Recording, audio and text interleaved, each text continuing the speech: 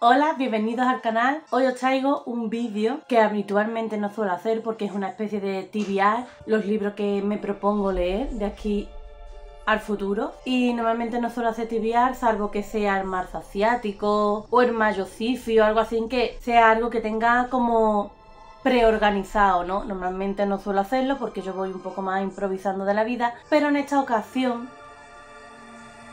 no sé si se dais cuenta por la indumentaria. Estoy un poco vampírica. Estoy un poco vampírica. ¿Por qué? Porque ya huele a que se va a acercar el otoño, hace un montón de calor todavía, pero ya estamos en septiembre, hacia la vuelta al cole, ya el verano lo estamos dejando atrás, ya huele a que va a llegar el otoño, a que va a venir Halloween y se me ha despertado la, fiebre vampírica otra vez de nuevo. He estado leyendo unos cómics de vampiro la mascarada y estoy haciendo una colección nueva. Entonces, pues se me ha despertado ese gusanillo por el vampirismo otra vez, ¿no? Es un gusanillo que se me suele despertar con mucha frecuencia, ¿no? Porque yo he tenido grandes etapas vampíricas, tanto del juego de rol de vampiro la mascarada como de la literatura de vampiro. Entrevista con el vampiro, Drácula, etcétera, ¿no? He leído muchos libros sobre vampiros. Y bueno, yo he estado acumulando libros sobre el género, pero es verdad que hace ya como dos años, por ahí, dos años y pico, que no toco ni un libro del género de los vampiros.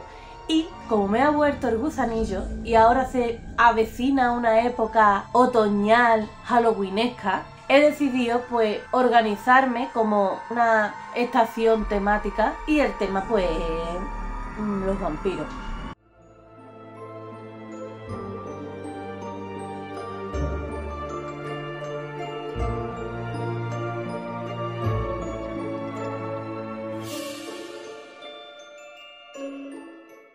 Aquí un grupo de libros que los tengo sin leer todavía, desde hace ya un montón de tiempo que los tengo.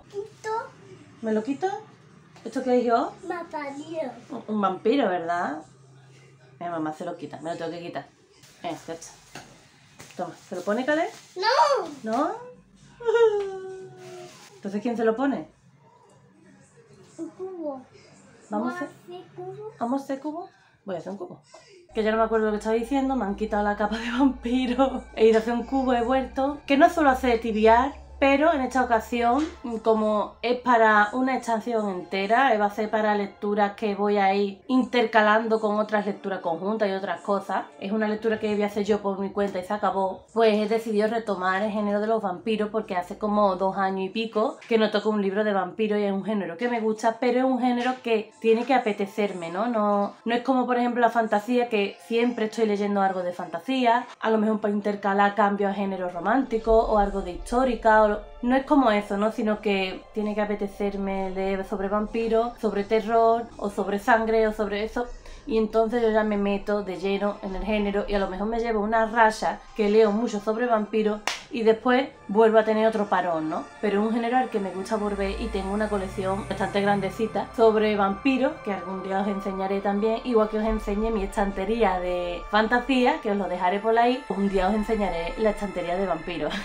y bueno, Aquí tengo cuatro libros que son de vampiros, que tengo sin leer desde hace bastante tiempo y que son los cuatro a los que le voy a dar prioridad. Y hay uno que todavía no me he comprado pero que tengo fichado porque es más nuevo y que estoy entre la duda de me lo compro en digital, si me gusta pues ya me aventuro a seguir porque es una saga, no es un solo libro sino que creo que van a ser cinco, o si directamente me lo compro en papel porque me guste más o me guste menos, va a formar parte de mi colección de libros de vampiro, ¿no? Entonces estoy ahí entre la duda, me lo compro en papel, me lo compro en digital, le doy la oportunidad, no se la doy, estoy ahí. Leer, me los quiero leer. El primero, que sí, sí, sí, sí, sí, sí, sí, voy a leer porque mm, es que lo voy a empezar en cuanto termine el ritmo de la guerra, que, que, ya la lectura conjunta termina la semana que viene, el que voy a coger es Lectar el vampiro de Anne Rice. Este libro lleva yo qué sé, 13, 14, 15, lleva un montón de años en mi estantería. Esto es una colección que se hizo que se compraba por entrega. Biblioteca de Crónicas Vampíricas de Anne Rice. De hecho, tengo casi todos. Casi todos los libros los tengo en este formato. Solo Príncipe Lestat, que es más nuevo, lo tengo ya en la edición de tapa dura que salió. Distinta, pero tengo casi todos los libros de la colección hecha, lo tengo en este formato. Y solo he leído Entrevista con el vampiro. De esta colección solamente he leído el primero, que encima es una historia que me la sé de memoria porque también he visto la película chorrocientas veces y la película y el libro son muy parecidos. Es cierto que el libro es un poquito más extenso en algunas partes, pero es muy, muy, muy, muy parecida a la película al libro y entonces pues la película la he visto tantas veces que yo tengo muy clara la imagen de la película y de la historia. No necesito releerlo para continuar con este, ¿vale? Así que directamente voy a, leer Esta vampiro y tengo muchas ganas. Mi madre lo leyó en su momento y le gustó un montón, es, uno de sus favoritos y he escuchado muy bien hablar de este libro y yo no sé por qué tardado tantos años en cogerlo pero por fin ha llegado su momento y va a ser el primero. El siguiente libro que, que, quiero leer es uno que yo hice un vídeo que está aquí en el canal, que era sobre los libros de vampiros más famosos, más especiales, más icónicos, ¿no? De lo que es toda, toda la evolución y todo el vampirismo en general desde que se creó, ¿no? En la literatura al menos. Los mejores libros de vampiros de tal fecha a tal fecha, ¿no? Desde que empezó el tema hasta el presente, ¿no? Y bueno, eso fue una investigación que yo hice porque, claro, como me gusta tanto el tema de los vampiros, pues yo empecé a investigar sobre todos los libros que había sobre el género y la evolución que ha tenido lo que es el vampiro en todas estas décadas y décadas y décadas de vampirismo, ¿no? Y bueno, cuando hice ese, ese vídeo, pues yo me apunté ciertos libros que no tenía, porque algunos sí, pero otros no. Y esos libros pues me los apunté porque los quería leer evidentemente, ¿no? Y uno, el que más gana tengo de leer de todos los que me apunté, es El umbral del bosque de Patricio Sturlese o Sturles o como se pronuncia. Este libro fue uno de los que más me llamó la atención. Me llamó mucha atención porque por un lado tenemos a la condesa Bathory, que históricamente pues también se le acusó en su momento de ser vampira. Ya por ahí te está metiendo lo que es el tema, lo que es el género. Pues esa condesa contrata a un navegante para que transporte un arcón de un lugar a otro, ¿no? Y entonces en ese viaje en barco entran unos personajes, unos viajeros que son de Noruega y a partir de que entran esos viajeros pues empiezan a ocurrir muertes sangrientas y cosas así en el barco, ¿no? Así en un lugar cerrado. Entonces lo que allí pasa hace que nuestro personaje cambie la intención de su viaje y se dirija a Noruega a investigar sobre el tema. Me llama mucho la atención el tema ese de la investigación sobre el tema, sobre la búsqueda de un libro, porque el libro El umbral del bosque por lo visto es el título de un libro que habla sobre el vampirismo y, y esas cosas. Y también me interesa mucho la escena terrorífica de estar todo el mundo en un barco y de que esté muriendo gente, de que esté pasando cosas y que están ahí encerrados que no pueden salir porque un barco es un barco y te tira al agua y muere ahogado o te quedas en el barco y muere por vampiro, ¿sabes? Entonces me, me, llama mucho la atención y sobre todo pues eso, ¿no? El tema de la investigación, el tema de que sale la condesa Bathory, el tema de que va a seguir hablando sobre la nobleza, sobre Drácula seguramente. Me interesa eso, ¿no? Esa visión un poco histórica, un poco ficticia sobre el tema del vampirismo y todo en una historia así, en una novela de ficción y bueno, no sé si será de miedo, pero sus momentos tensos seguro que lo vamos a leer. El tercer libro que, que, me gustaría leer, El misterio de Salem Lot de Stephen King. Este libro también lleva un millón de años en mi lista de pendientes porque nunca he leído Stephen King y todo el mundo debería leer Stephen King, debería leer pero Stephen King tiene millones y millones de libros porque ese hombre es muy prolífero y nunca sabido por dónde empezar. Entonces yo a mí misma me dije, ¿te gustan mucho los vampiros? Es un género que no suele fallar para mí y Stephen King tiene un libro sobre vampiros que es este. No sé si tiene alguno más, pero este es súper mega famoso y digo pues por ahí voy a empezar. Stephen King, vampiro y lo tengo en tercer lugar porque verdaderamente el umbral del bosque me llama muchísimo la atención porque ya sé que sí es mi estilo, ¿no? Me interesa mucho aquí, sé que va a ser 100% ficticio y que seguramente es otro tipo de vampiro y seguramente en fin, ¿no? Le tengo interés, quiero conocer cómo escribe Stephen King y quiero leer sobre vampiros. Pero evidentemente lo tengo en tercer lugar. Y en cuarto lugar tengo un libro que también lo tengo de hace un montón de tiempo y que me regalaron. Y lo tengo en cuarto lugar porque ya este cambia un poquito de género sin salirnos de lo que es la temática de los vampiros, ¿no? Y se trata de Drácula, mi amor, el diario secreto de Mina Harker de Sirie James.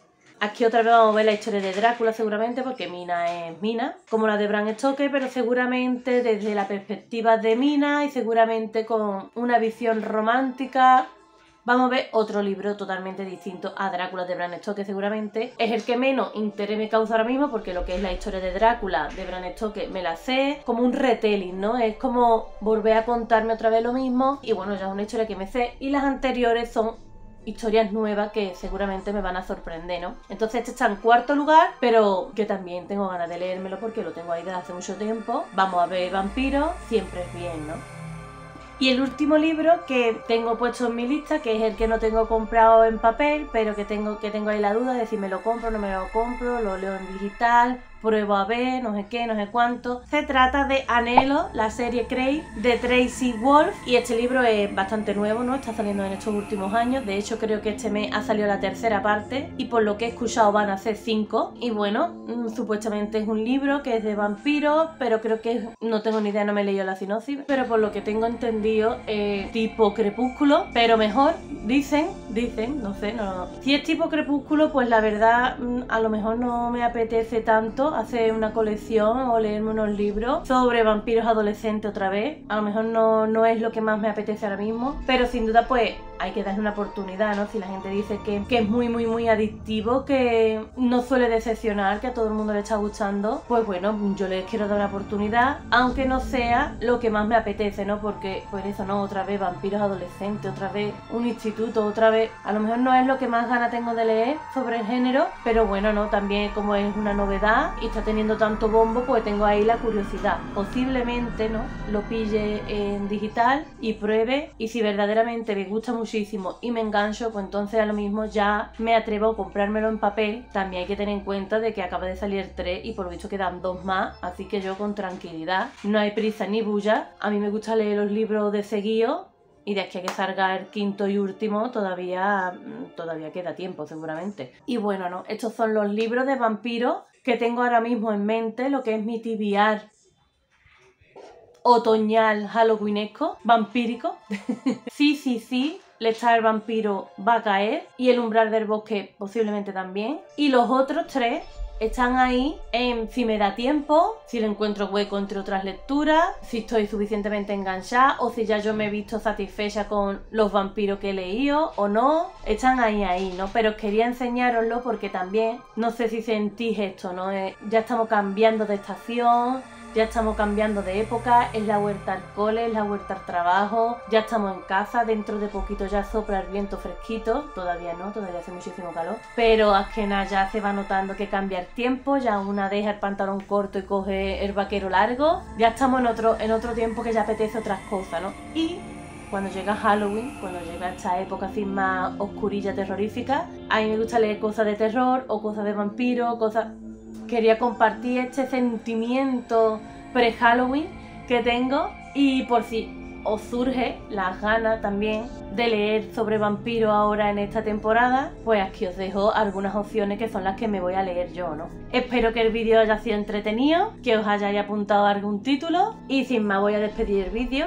Por aquí os dejo una bolilla con mi cara para que os suscribáis y por aquí os dejo otro vídeo recomendado por si queréis seguir escuchándome hablar de libros. Nos vemos en un próximo vídeo. Adiós.